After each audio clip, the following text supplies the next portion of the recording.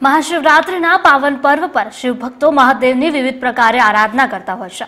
તો વિશેષ રૂપે જ્યોતિર્લિંગનું ક્ષેત્રમાં શિવ પૂજનનું શાસ્ત્રમાં અનેરું જ મહત્વ જોવામાં આવ્યું છે. ત્યારે આગામી વાત કરવામાં આવે કે થોડા દિવસોમાં મહાશિવરાત્રિના પાવન પર્વે ભક્તો સોમનાથના ચરણોમાં રત્નકર સમુદ્રના તટ ઉપર પાર્થિવ શિવલિંગની પૂજા કરી શકે તેવો ઉત્તમ કાર્યક્રમ સોમનાથ ટ્રસ્ટ દ્વારા તૈયાર કરવામાં આવ્યો.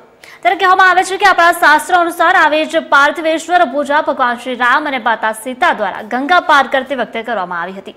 તેમજ પાંડવ પુત્ર અર્જુને ભગવાન શિવના પાર્થિવલિંગની પૂજા કરી હોવાનો ઉલ્લેખ પણ છે. તો આ રીતે શિવના પાર્થિવલિંગની પૂજા કરવાથી તમામ મનોકામનાઓ પણ પૂર્ણ થાય છે.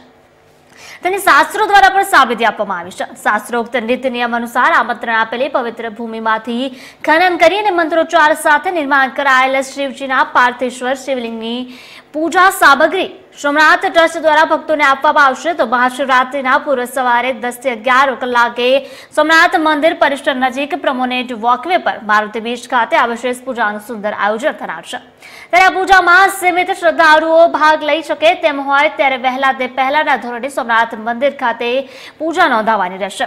સોમનાથ ટ્રસ્ટ દ્વારા માત્ર બસો એકાવન રૂપિયામાં પાર્થેશ્વર પૂજન આયોજન લઈ અને શ્રદ્ધાળુઓએ અનેરો જ ઉત્સાહ જોવા મળી રહ્યો છે.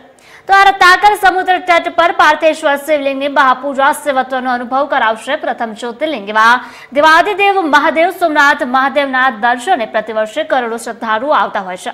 દિવ્યાંગ અને અશક્ત શ્રદ્ધાળુઓ સિનિયર સિટીઝનને પરિસરના પ્રવેશદ્વારથી જ સોમનાથ મંદિર સુધી લાવવા અને પરત લઈ જવા માટે પણ ઇલેક્ટ્રોનિક ગોલ્ફ કાર્ટ સેવા પણ આપવામાં આવે છે.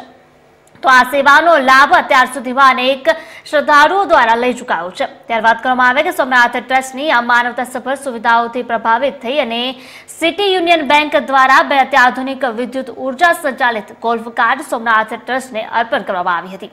તો વાત કરવામાં આવે કે આ ગીર સોમનાથ કલેક્ટર દ્વારા વેદોક્ત મંત્રોચ્ચાર સાથે બે ગોલ્ફ કાર્ટનું મંદિર પરિસરમાં ઉદઘાટન કરવામાં આવ્યું હતું.